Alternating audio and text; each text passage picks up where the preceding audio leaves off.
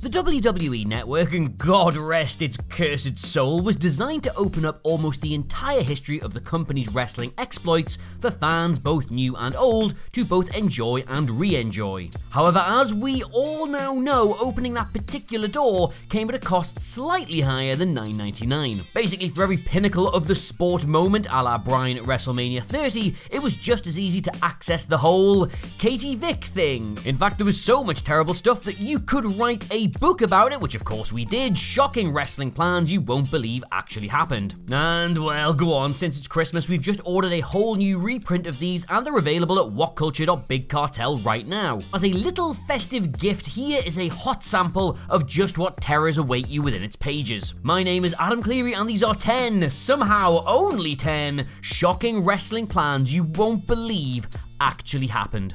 Number 10, Fondle Me Elmo. Ever keen to be just behind the curve, and in this case, probably behind the camera, Vince McMahon used a 1996 internet gold rush to hawk his own wares in Shotgun Saturday Night. After a sex tape featuring Pamela Anderson and Tommy Lee effectively acted as a gateway for those canny with a computer, adolescent wrestling fans took to AOL looking for images of Sunny in positions almost as compromising. WWE obliged because, of course, they did, producing so many bikini shots she became a record smashing search term entirely by herself. But McMahon decided to go one further and teased Sunny's sex tape. Her partner for this? A weirdly sexualized version of Tickle Me Elmo. Yep, Sunny and Elmo. Sunny sex tape with with Elmo. Where where do you even start with that? Number 9, Triple H versus Scott Steiner. In 2002, Big Papa Pump was bursting with his requisite muscle mass and charisma, but was masking drop foot syndrome, a condition that reduced his in ring prowess to naught. In their infinite wisdom, WWE decided to hide the problem by putting him in a feud with Triple H, a man not exactly famed for carrying main event matches. Oh, and of course, they gave them both a ludicrous dick measuring build up. I mean, it sort of worked, but the problem was they were eventually going to have to have a match, and when they inevitably butted heads at the 2003 Royal Rumble, it killed the big bad booty daddy's WWE career stone dead. 18 excruciating minutes of suplexes, literally nothing else, and a non finish. A disaster as excruciating as it was predictable. Number 8 Raw's guest hosts. When WWE began an aggressive rebrand of the Divas division, there were few female stars they were so keen to vindicate as much as the Bella twins. Nepotistic acts were at play, of course, but the dues paid by the sisters during the company's guest host period of Monday Night Raw were admirable in the extreme. Almost weekly, Brie and Nikki would walk out either side of a disinterested celebrity who probably came cheap or free and needed Raw's valuable airtime to plug the living shit out of whatever entirely unrelated product they were trying to sell at the time. No, no, that's not at all like what I'm doing here. Just just buy the bloody book. Too often, the host was positioned with a main event star in an effort to co opt the vaunted mainstream media, but the tabloids and gossip websites never appeared even remotely bothered by the stunts. Will Forte and Kristen Wiig beating SNL Dead Horse MacGruber, Cheech and Chong dozily going through the motions 30 years after their cinematic debut, Jeremy Piven rebranding WWE's second biggest pay per view. As Summerfest, you truly, truly envied the dead. Number 7. The Kennel from Hell. Now almost a charming footnote of the Attitude Era compared to some of the bigger atrocities committed by Vince Russo, the Kennel from Hell was literally a steaming turd in the middle of Unforgiven 99. For Vince, more is always more, which highlights just how awful the Kennel from Hell had to be in order for the company to never attempt the preposterous amalgamation of their two biggest gimmick matches ever again. Like, don't get me wrong, the whole boss man feeding Al Snow his own dog was quite good, but the fact they both had to scramble through, again, literal shit and piss to escape the cage was just no, that's no.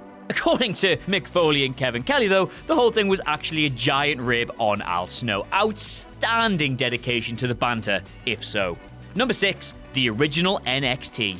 NXT is brilliant, obviously, but the initial iteration was. Hang on, where's where's my dictionary? Ah, here we are. Fucking dog shit Presumably intended to be all things to all people, NXT actually offered nothing to anybody. We had mettle testing party games, assault courses, and promo battles, all of which just exposed every single performer's weaknesses in front of massive crowds. You know, the exact opposite of everything pro wrestling is supposed to be. The weird mashup of talent show, reality show, and game show farmed wrestlers from Florida Championship Wrestling into major arenas for their first taste of the bright lights. But the damaging glare of NXT burned nearly every performer that suffered the indignity of being included. Number 5. The Undertaker gets into character. To this day, nobody's really sure who to blame for the bizarre work shoots we got during The Undertaker's Tash shaving transition from company cornerstone to crackpot cult leader. Some blame Vince, who was trapped in his own angle with the dead man when he accused Mark of believing his character.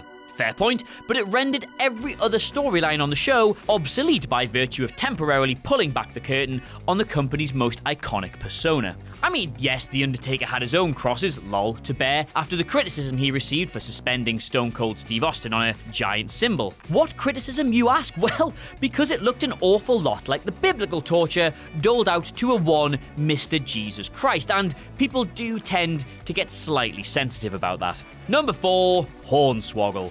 Okay, I've actually got it on good authority that the Swog is a really nice dude, but let's just. Right, where's that list? Winning the Cruiserweight Championship, being Vince McMahon's illegitimate son, joining DX, being revealed as Raw's anonymous general manager, necking on with AJ Lee, winning a Battle Royal to earn a wish from Santa Claus, who then granted him the ability to speak, dressing as a cow to compliment El Torito, being Titus O'Neil's pro in NXT Season 1. Look, don't get me wrong, fair play to Dylan Postl, who played the role with vigour and absolutely deserved the healthy living he made in WWE, but Jesus Christ, man, what was going on in the company's creative engine room? Number 3, The Diva Search. Despite a noted shift towards actual wrestling, thanks to the hard work of Trish Stratus, Molly Holly, Jazz, Lita, Victoria et al., from 03 to 07, women were still hired almost entirely for their sex appeal to a diminishing adolescent audience. Jim Ross recalls being tasked with only finding, and I quote, athletic tens at the time, whilst John Laurinaitis allegedly moved the company's chief developmental league to Tampa to allow for endless beach parties alongside many of the models he'd ushered into the organisation. At the heart of all this was the Diva Search, which forced untrained and largely untalented performers into spots they simply weren't equipped to handle. The women's division was, for a while, little more than a home for pillow fights and theme parties, and eventually became an outright detriment to the product when the roster became flooded with its runners up. Number 2. Kurt Angle stalks Sharmell. Oh god. Oh, not this one. Please. Please, God, not this one. Lost in the shuffle somewhere between Kurt Angle's transformation from comedy technician to killer wrestling machine was that time he threatened to rape Booker T's wife. If that seems quite a leap, that's because it played out like one too. Within the space of weeks, Angle was suddenly a maniacal pervert, proudly harping on about bestiality sex, calling her a gutter slut, and then, you know, physically assaulting her. Despite, oh, I don't know, risking prison time and a career defined by his portrayal of a sex offender, the arc was thankfully parked when Kurt went to Raw and never gets spoken of again. Number 1 The Invasion. How? How did WWE ruin what should have been the biggest storyline in wrestling history? Fantasy booking matches between the heroes and villains of WWE and WCW was, for many fans, a weekly exercise. It was the creative golden egg. But, predictably, the rushed invasion served only to placate the delicate egos of WWE's established stars, humorlessly abusing countless youngsters in an effort to cling on to their existing spots.